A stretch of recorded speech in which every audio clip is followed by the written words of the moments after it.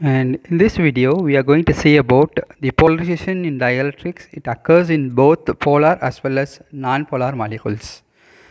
Here we are going to differentiate what is polar molecules, what is non-polar molecules. So in this one, I have mentioned very clearly what is polar molecules in the sense the center of positive and negative charges does not coincidence.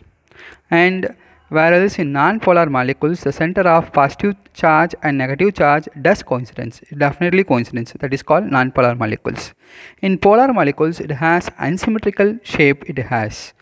Whereas in say in non-polar molecule it has symmetrical shape and it has a permanent dipole moment in polar molecules whereas in non-polar molecules it has no permanent dipole moment due to symmetrical shape. And very good example for polar molecules we have HCl H2O that is hydrochloric acid and water.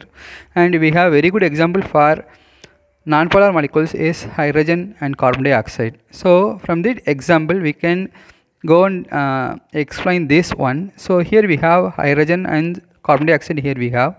The center of uh, positive charges and negative charges does coincidence in these two cases whereas in HCl and H2O the center of positive charge and negative charge does not coincidence. That's why we are saying these type of molecules are belongs to polar molecules and this type of molecules will belongs to non-polar molecules. Okay. Now we are moving to suppose if a polar molecules is present in in the absence of sorry in the absence of electric field how they are arranged? See look at in the diagrams.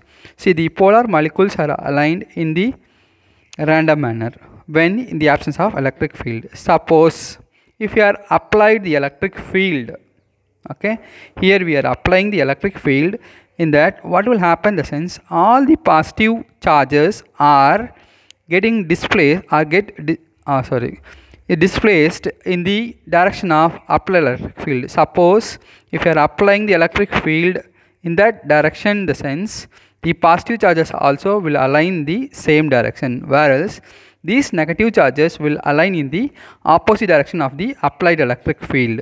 So when it's going to be when it's going to be stopped in the sense when this applied electric field is equal to the restoring force what is restoring force in the sense due to this dipole moment it creates the in, uh, it creates the restoring force. That restoring force is equal to the applied electric field. That time it, displacement is going to be stopped. Okay. And when coming back to non-polar molecules here we have in the absence of uh, electric field applied electric field see that they are aligned in that in that manner so if you are applying the electric field, what will happen in the sense? See, they are aligned in the the positive charges are aligned in the past in the applied field direction, whereas the negative charges align in the opposite to the applied field direction. And in the absence of electric field, look at that all the diagrams which are aligned positive and negative charges which is due to thermal agitation. So due to the thermal agitation we can say that these are non-polar molecules are aligned as like in that given diagrams. And this polarization is mainly depends upon two factors. What are the two factors in the sense?